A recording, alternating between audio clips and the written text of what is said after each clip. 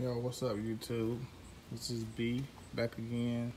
Um, this is my wife's 2007 Mercedes GL 450 and this vent on top got cracked.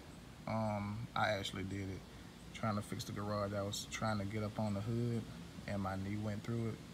So now I had to order another one and um, fix it.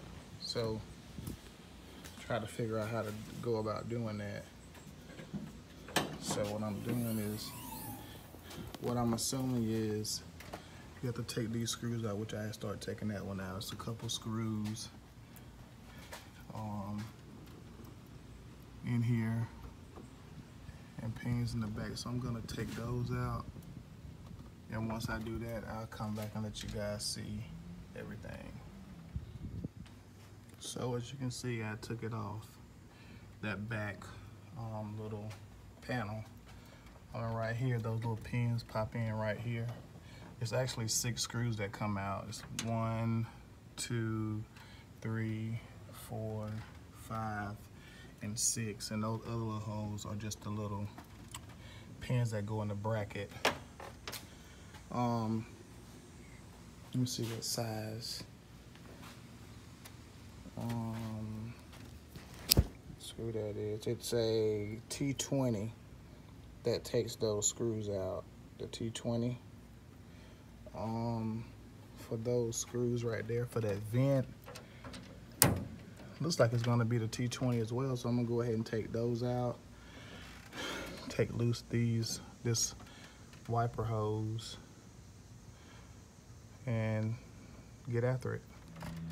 Um, I ordered these vents off eBay. I got two, a left and a right. Um, and I'm gonna be taking those, putting this one in there. The other one's not cracked, so I don't think I'm gonna put the passenger side one in there. I'm just gonna put the driver side in there. Um, and now later on, if I just, if there's a big difference in like the fading or the color of the other vents versus this one, I might just go ahead and put the other one in there. But, um, yeah, I'm gonna go ahead and knock that out too. Guys, I know I keep stopping or whatever, but um, I just want to give you guys all the details. So once I put it back in, I put these three screws in, one, two, three screws back in. I had to use these clamps from the old one to put on here because mine didn't come with it. Maybe yours will but I had to take these old clamps here and here off the old one to put on here. So now I'm gonna put the panel back on and then I'll come back and show you guys the finished product. So guys, here's the finished product. I have put the new one on, looks pretty good. So there it is, your 2007 Mercedes Benz GL450 hood vent. And I'm pretty sure this is probably the same process for the 350.